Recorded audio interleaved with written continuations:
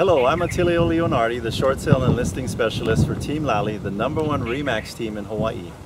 If you or someone you know owes more than their home is worth and is thinking about listing their home for sale, that is what we call a short sale. There are a couple of things you need to know about a short sale. I'm only going to talk about one of them on this video because it's information that is time sensitive.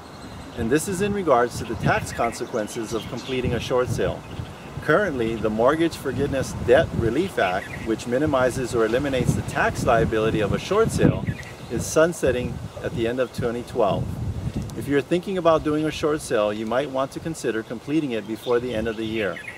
There are 10 facts the IRS wants you to know about the mortgage debt forgiveness. I'm not going to read them to you on this video because that would be considered cruel form of punishment and extremely boring.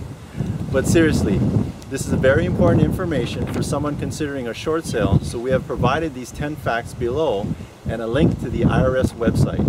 On behalf of Team Lally, I thank you for your time.